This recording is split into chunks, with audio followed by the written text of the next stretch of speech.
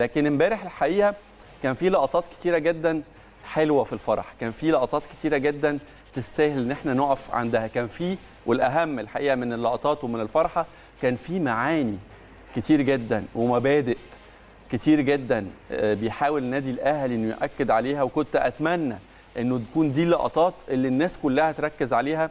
لكن للأسف ده ما بيحصلش لأنه في ناس دايما بتحاول إنها تبوظ فرحتنا. على كل الأحوال أنا بيتهيألي إن كل أهلاوية فرحانين بفرقتهم ال season ده لأنه season شاق جدا season طويل جدا. ورغم كده ورغم كل المطبات المصنوعة أو الغير مصنوعة المباشرة أو الغير مباشرة قدرت الفرقة تتجاوز بنجاح. ومش بس كده الفكرة مش بس تحقيق أو الوصول للقب البطل لكن إزاي وصلت؟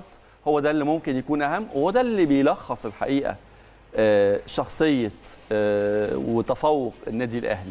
ده واحد من مفاتيح الفوز بالبطولة. لما بتقول روح الفانيلا الحمراء لما بتقول شخصية البطل دي الحقيقة الأسلوب أو الفكر أو الطريقة اللي تتعامل بيها مع المطبات الصعبة. البطل يواجه البطل لما يقع يقدر يقوم بسرعة وده اللي ترجمه النادي الأهلي معاني كتير الحقيقة ترجمها هذا الموسم. لينا وقفات كتير جدا في ماتش امبارح.